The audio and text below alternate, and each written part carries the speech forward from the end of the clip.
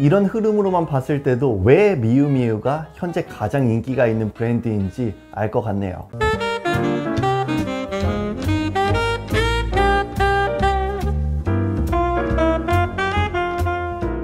안녕하세요 호호시입니다 패션 관계자들한테 요즘 가장 인기 있는 브랜드가 어딘가요? 라는 질문을 해본다면 아마 여러 브랜드들이 나오겠지만 그중 하나는 단연 미우미우라고 생각을 합니다. 여러분들은 미우미우라는 브랜드를 들었을 때 어떤 키워드들이 좀 떠오르시나요? 아마 프라다 자매 브랜드, geek chic, 여성복 브랜드 라는 키워드들을 좀 많이 떠올리실 것 같은데요. 여성복으로 시작한 브랜드이지만 남성복도 꽤 꾸준히 release를 했었고 현재는 유니섹스 아이템도 많고 저도 스타일링 할 때 정말 많은 참고를 하고 있는 브랜드이기도 합니다. 그래서 오늘은요 미우미우 이야기를 좀 해보도록 하겠습니다 미우미우는요 모던하고 세련된 이탈리아 럭셔리 하우스 브랜드인 프라다의 자매 브랜드로 많이 알려져 있고요. 프라다 창업자의 손녀이자 현재 프라다의 CEO를 맡고 있는 미우치아 프라다에 의해서 1993년에 론칭을 했습니다. 저도 예전에는 미우미우 하면은 프라다의 자매 브랜드라는 인식이 좀 강했던 것 같은데 최근 몇 년간의 컬렉션을 보면은 그런 느낌보다는 미우미우는 그냥 미우미우다 라는 독립적인 브랜드 이미지가 더 강합니다. 미우미우라는 이름을 어떻게 지었냐면요. 본인과 동일시할 수 있는 단어를 생각을 해보다 가족들이 미우치아 프라다에게 미우미우라는 별명을 불렀었거든요. 그래서 미우미우라고 정했다고 하고요. 이 브랜드는 프라다보다는 조금 더 young하고 자유로운 디자인 그래서 좀 젊은 타겟층을 하고 있고요. 결과적으로 가격대는 프라다보다는 조금 저렴하지만 그래도 객관적인 가격대를 보면 꽤 비싸긴 하죠. 그래도 이런 아이덴티티를 기반으로 로고도 디자인을 했는데 이 로고도 보면은 프라다보다는 조금 더 장난스럽고 귀여운 느낌도 있고 소녀스러운 느낌도 있는 꽤 단순한 디자인입니다. 그래서 이런 로고를 통해서도 조금 더 친근한 이미지를 보여주려고 한 것 같아요. 미우치아 프라다가 이 미우미우라는 브랜드를 만들게 된 계기가 있는데요. 일단 프라다라는 브랜드는 가족 기업이기 때문에 미우치아 프라다도 도중에 합류를 한 거잖아요. 그래서 그녀가 프라다에 들어갔을 때 본인이 엄청 하고 싶은 디자인을 막 자유롭게 할 수는 없었다고 해요. 그래서 미우치아 프라다는 조금 더 내 자유를 펼칠 수 있는 라인을 좀 만들기 위해서 미우미우를 만들었고요. 이 미우미우는 본인의 옷장을 reference해서 조금 더 소녀스럽고 여성적인 이미지를 강조하기 위해서 만든 라인입니다. 예전에 그 미우치아 프라다의 인터뷰 기사가 하나 떠오르는데 나는 프라다이지만 내가 되고 싶은 건 미우미우다 라는 인터뷰 기사를 본 적이 있어요. 그래서 그것을 보고 느꼈던 건 본인이 하고 싶은 것을 마음대로 펼칠 수 있는 것이기 때문에 오히려 미우미우가 미우치아 프라다 그 자체이지 않나라는 생각이 듭니다. 초기 컬렉션을 보면은 prairie 스커트라든지 웨스턴 무드의 아이템들을 많이 선보였는데 요 그리고 디자인도 보면은 조금 더 젊고 자유롭고 다채로운 느낌이 있습니다. 1990년대 초반에 이탈리아 하우스 브랜드들의 특징들을 좀 살펴보면 여러 가지가 있겠지만 그 중 하나가 매력적인 모습과 성격들을 모두 다 가지고 있는 여자인 입거리라는 키워드를 지향하긴 했거든요. 그래서 미우미우도 1996년에 미국의 성장 영화인 키즈에서 활약을 했던 20살 정도밖에 안 되는 클로이 세비니를 빠르게 캐스팅을 해서 광고 캠페인 모델로 세웠고요 이때 패션 관계자들 사이에서 좋은 이미지를 갖게 되면서 더욱더 뜨게 된 브랜드입니다. 이렇게 몇 년 동안 여성복을 잘 출시를 하다가 드디어 1999년에 남성복을 출시를 하게 되는데요. 여성복을 하고 있지만 남성복을 한 이유가 뭐냐면 시간이 갈수록 젊은 사람들을 보면은 옷을 이해하는 능력이나 판별하는 능력이 점점 좋아지고 있다고 느껴지는데 이 젊은 사람들과 같이 이야기를 하면은 새로운 아이디어들도 굉장히 많이 나왔다고 해요. 그래서 남성복 라인으로 넓혀가려고 한 거고요. 99년 컬렉션을 보면 지금 봐도 꽤 멋스럽다고 생각이 드는 tailoring 기반의 아이템들을 선보였는데요. 패턴을 보면은 어깨는 조금 더 넓히고 엉덩이 라인 같은 경우에는 여성복보다는 좀 더 좁게 가져가는 실루엣을 띠고 있거든요. 이게 그 당시 트렌드와는 꽤 차별성이 있는 패턴인데 미우미우 같은 경우에는 그 당시부터 성별에 크게 구분 없이 입을 수 있는 옷을 구성하려고 한 것 같죠. 이게 미우미우의 identity 중 하나인 gender blending이라는 방식이고 이는 지금도 이어나가고 있습니다. 제가 지금까지 컬렉션을 보면서 개인적으로 가장 많이 생각나는 컬렉션이 2005년 SS 컬렉션이거든요.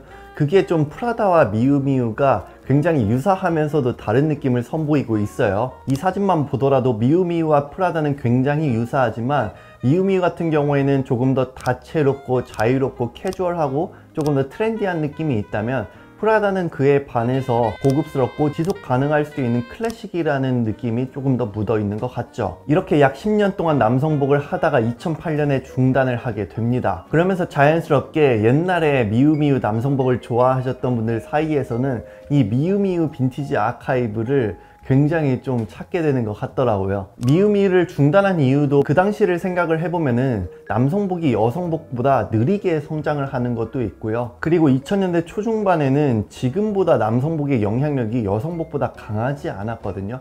그래서 그런 이유도 있고 미우미를 살 수 있는 대중들의 나이대도 사실 지금보다는 현저히 좀 높았기 때문에 이러한 이유로 남성복을 중단을 하지 않았나라는 생각도 듭니다. 미우미우는 이렇게 수십 년 동안 조금씩은 성장은 하고 있었지만 그래도 미우미우가 가장 대중적으로 high하게 좀 뜬 컬렉션은 2022년 시즌부터라고 생각을 하는데요. 이 시기에 바로 low-rise라는 큰 열풍을 불러일으킨 장본인이기도 하고요. 덧붙여서 요즘에는 새로운 단어를 형성하거나 아니면 core를 붙여서 합성어를 만들어서 어떤 장르이다라고 말을 하기도 하잖아요. 예를 들어서 발레 core나 geek chic 같은 트렌드들을 살펴보면요. 이 또한 미우미우의 영향이 가장 큰 트렌드입니다. 덧붙여서 다채로운 스타일링을 굉장히 잘하기 때문에 옷 입을 때 reference하기 굉장히 좋은 브랜드라고도 느껴지고요. 최근에 미우미우 컬렉션 디자인들을 보면은 굉장히 좀 다채로운 디자인이긴 하지만 클래식 기반 디자인도 꽤 많고요.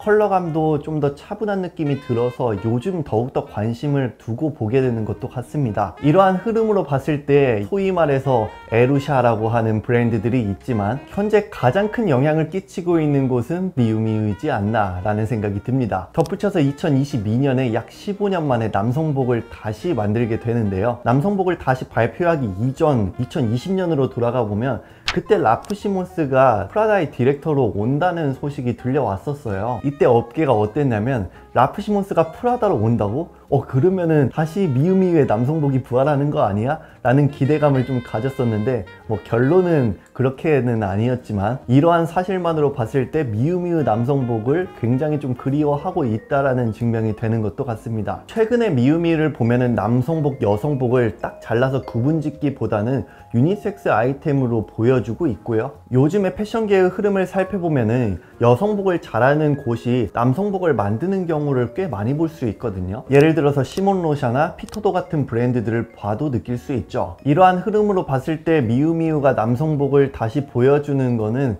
꽤 고무적인 흐름이라고 생각을 합니다. 또한 미우미우는 우리나라에서 지드래곤님이 많이 입는 브랜드로도 알려져 있죠. 특히 저는 요즘에는 미우미우는 콜라보를 좀 재밌게 보고 있는데요. 제가 굉장히 즐겨 신는 처치스라는 브랜드와 콜라보를 한 모습도 보이는데 이 모습을 보면은 옷은 굉장히 세련됐지만 슈즈는 좀 클래식하게 가져가서 스타일링을 하는 모습들을 저는 좀 재밌게 봤고요. 처치스 하면 아무래도 formal wear를 주로 입으시는 분들이 많이 찾는 브랜드인데 굉장히 young 하고 자유로운 타겟층의 미우미우와 콜라보를 하면서 새로운 모습을 보여주는 게 굉장히 좀 좋은 콜라보이지 않나라는 걸 좀 느꼈습니다. 그리고 클래식 캐주얼의 대표적인 브랜드인 리바이스와 콜라보를 하면서 미우미우 특유의 소녀스러운 이미지를 많이 보여준 것도 재밌었고요. 요즘 가장 인기 있는 콜라보는 아무래도 뉴발란스인 것 같습니다. 소재로 재미를 주거나 아니면은 컬러가 다른 shoelace를 구성을 해서 위트를 보여주는 느낌도 저는 꽤 재밌게 봤습니다. 이렇게 현재의 미우미우는 다양한 활동들을 하면서 서로 시너지를 줄 수 있는 브랜드로 성장을 하고 있는 것 같고요.